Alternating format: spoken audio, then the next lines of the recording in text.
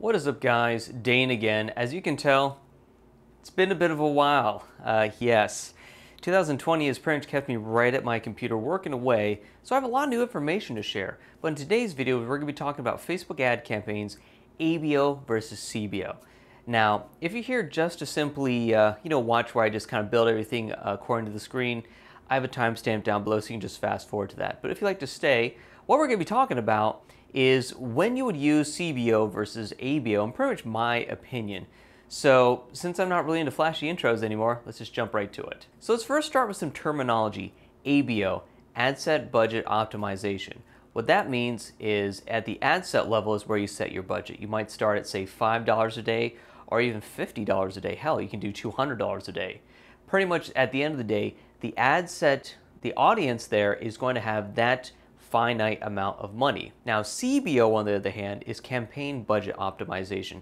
That means you're setting the budget at the campaign level, where you would kind of uh, select what kind of campaign it is, like reach, conversion, all that stuff. Now, this is the main idea with CBO, is that you put the money way up here at the campaign level, and you have your different audiences as the ad sets. So what Facebook does is it looks through these audiences, it looks through your ads and says, okay, where can I start connecting the dots? Say, for example, if you're doing a CBO conversion campaign, you know, you have your audiences right here, you have your ads right here. Facebook, in theory, is going to look through all those and say, okay, in this audience, we have buyers here with this ad. Let's start putting the money there. In theory, it works great. And I know I, myself personally, I have used it very well. So the question is, well, Dane, if this works so well, why doesn't Facebook just try and make CBO mandatory? They've tried multiple times. Uh, in fact, I think it was supposed to be this year that CBO is supposed to, come, supposed to become the mandatory way of doing ads. However, there's some drawbacks with CBO, and actually why currently I am preferring ABO. Now with ABO, as I said, you set your ad budget at the ad set level for one particular audience. What that means is that that audience will only have that amount of money to play with, which is really good if you're just testing stuff out because you want to have a lot of control. Say if you have one campaign five or six, maybe 10 audiences, and they all have $5 a day. Well, that really allows you to see like, okay, what does this one audience do with $5? Now, say if we had the same uh, setup for CBO, which I'm actually to show on my computer in a few minutes. Say we have $50 a day at CBO, we have our five audiences, so about five or $10 a day, give or take. I'm not good at math, scarcely enough. What that means is Facebook is going to allocate budget where it sees fit. There are times where Facebook will get it wrong. That's why, especially when you're testing out, I like to use ABO. I want to have as much control as possible to see what audiences are working because I don't want Facebook to throw all of its money on a loser audience and not make any sales. I'd rather, you know, hedge my bet and say, okay, Facebook, only on these audiences, they're each getting $5, maybe $10 a day. If this one loses, okay, that's great. I, okay, that sucks. I lost $10. But if this one wins, making one or two sales out of $10, that's good. There is a very strong strong possibility that with CBO, on the other hand, it will say, oh, this loser audience, well, I think it's going to do better. I'm going to pull your money there and potentially miss out on a lot more. Now, on the flip side, CBO is really powerful once you know what works. So, very typical, what I sometimes do, I'll test out different audiences and creatives with ABO where the stakes are much lower, and then I'll attempt to scale them using CBO. So, say if I th find three winning audiences at with ABO at the audience level, I'll then start a CBO campaign with those same audiences, with the creative that worked in ABO and put in CBO because at least I know I have winners. And then I start trying to see, can I scale from there? Now with that being said, that's kind of where the main difference between ABO, CBO, and usually what I like to do with using both. We're gonna jump to my computer now and I'm gonna show you how to do all that stuff. Alright guys, here we are in a brand new ad account and we are going to do a lead gen campaign. So we're gonna go up here, going to go to create and also like to add we're going to do an ABO campaign first.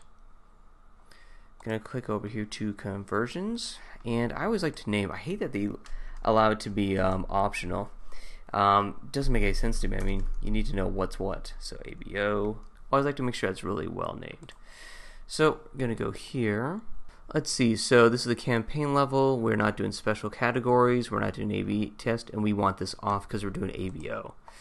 So jump in here into the ad set level, got my pixel, and I want to do leads. So always make sure that's set up correctly. Optimize for what you want. Uh, let's see, we're going to leave this off, this off, and let's just say we're going to do $10 a day for this campaign. And of course, when it comes to audiences, I already have a few saved audiences right here. Now, one thing I like to share is I actually have this little spreadsheet that I use. This is my little um, audience planner. If you actually want a copy of it, it's down below in the description. Uh, but what I do is I search by interest name and then I make it an audience. And of course, when I start doing testing, I like to highlight this in one of the colors. Usually, what I do is, especially if I'm doing lead gen, I'll have like 10 to 15 different audiences. And sometimes it gets a little bit confusing about um, when they start, when they end. I usually like to give an audience about, let's say, two to three, maybe four days. So I'll put the start date and I'll put the end date and then I'll put the result. And what I'll do is like if it just did not hit my KPIs, like having a dollar uh, per lead or didn't book any calls, then I'd be like, okay, it's a failure. If it did good, great. I want to test some creatives with it and see what else works.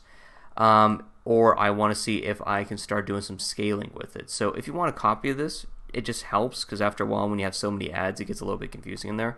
Um, I got one down below. But anyways, I'm going to be testing out these audiences that I have right here. So going over to my ad set, let's see, we're going to be going to saved audiences. As you can tell, it's already populated, United States, 18 to 65, interested in online advertising. You'll see why in a second. And I am purposely keeping it really, really broad. As you can tell, it's a huge audience. So we're going to go through with that. And again, I'm keeping this nice and simple. And now we need to create some ads. So let's go ahead and I have a couple of dummy ads that I'm going to put in. So this is going to take a bit. And usually what I like to do is like say ad, copy one, image A. That way I know what's what. So I'm just going to go down here, add media. Let's see what pops up because you never really know sometimes. Upload and I have all sorts of stuff. I'm going to go for this image first. Now this allows you to optimize for different things. I personally like to stick with one or the other, so I'm just going to say square, and that looks good to me. And of course now we need some uh, copy, so I got some right here. And of course we need our website. Okay, so cool. I'm going to go ahead and make the rest of these ads real quick.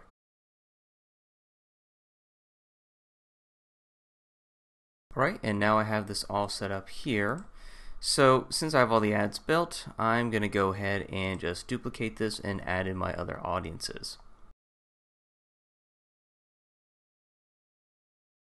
Uh, let's do brick and mortar on this audience. Now one thing you'll notice is between these two audiences right here, and this is actually one reason why uh, you might choose to do ABO. So this has uh, 4, uh, 4.3 million people, while this audience, online advertising, has 34 million people. That's quite a discrepancy. And actually, in fact, let me, I'm going to add one more audience in here. Um, this is something that CBO will struggle to do with. Um, but ABO can do pretty decently, and it really just kind of depends on what you're uh, trying to uh, accomplish. So I have this one right here uh, business owners. This is a demographic one, employers. Um, I'm not sure, kind of annoying. Oh, yeah, there it is. So notice how it says uh, 27,000 people. That's a quite a big difference. Now, in this case, what I would do is I would if I if I must test these audiences, I would do ABO. Here's why. With CBO, Facebook is going to say, "Oh wow, there's 34 million people here. I have a pro- I probably have a much better chance of getting a low cost lead going through 34 million people versus what do we have here? 27 uh, 2,700 people. You know, there's a good chance with CBO, Facebook will just say, oh, I'm going to dump most of my money into this uh, campaign because you're looking to get leads. You know, great, I will get you leads. Well, the question is, do you just want leads or do you want people that are qualified to go for it? Because uh, it could be that, you know, online advertising, these could be people that like, say, Tai Lopez videos if you're trying to run like a, like a real business business and you're not just looking for you know people who are just trying to hustle you know, true, you might get really cheap leads. You might get 50 cent leads, and that might be great. But it could be it's this one right here. Um, you know, people that are saying that they're employed by a small business owner or they are a small business owner. Hey, you might not get as many leads, but it could be that these are very qualified customers. Uh, with ABO, you don't have to worry about Facebook um, screwing that up and just say taking $30 and putting it only here and not here. Um, so with ABO, I mean, pretty much it's forcing Facebook to only have $10 here. Now, of course, the downside is if the real good leads are here and you're only spending $10, it could be these are trash leads. Um, it could be that these are much more expensive and they don't convert well, while these are cheap and convert well. It makes it a little bit different. What I'm going to do is I'm going to publish this and I'm going to show you actually a quick trick on if you built an ABO campaign and you decide to go CBO. So I'm going to let this publish. It's not going to run. I have it turned off because um, not really looking to uh, you know drive traffic to this offer.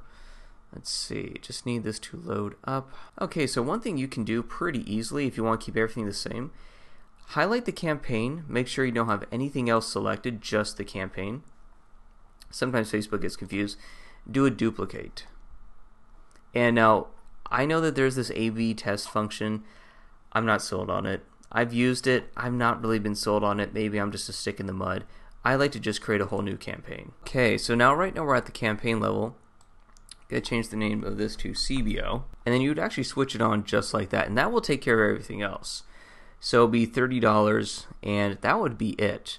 Because one, what I'll do is I'll walk you through this. If you go through it, it Facebook will see this as a whole new uh, campaign. All the audiences, everything will be there, except now uh, the budget is at the campaign level. So the way how I built it out in ABO is the exact same way. Like here is all my ads, as you can tell, exact same ads, exact same everything.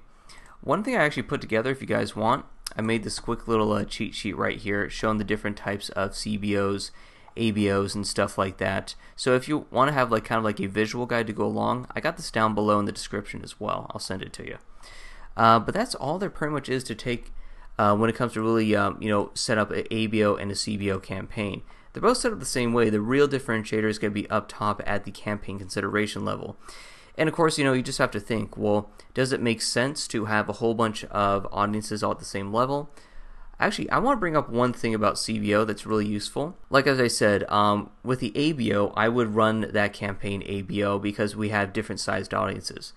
If you have audiences that are all about the same size, three to four, five million, or even say three to four, five thousand, then I would maybe consider CBO as well because it's roughly the same audience size as I mentioned before, you know, having a huge audience next to an audience with only a couple thousand, you know, that audience is never going to, the couple thousand audience is not going to have a chance. I mean, Facebook is just going to say, you want cheap leads? Well, there's a lot more of them, so we're just going to go that way.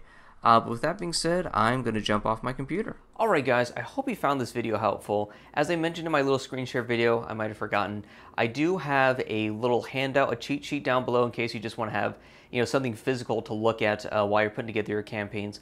I also have my Facebook Audience Planner. Um, once you start doing a lot of different types of prospecting, trying to see what kind of uh, ads uh, and audiences work together really well, I usually like to use this planner. Um, just so I don't lose track because it's really easy to make all these audiences and say this one sucks, this one works. I like to use it. So if you want both those things, I have them down below as well. With that being said, if you like this type of content, feel free to subscribe. I plan on getting right back into making content again so I can kind of have a little bit of sanity. And I will see you guys next time.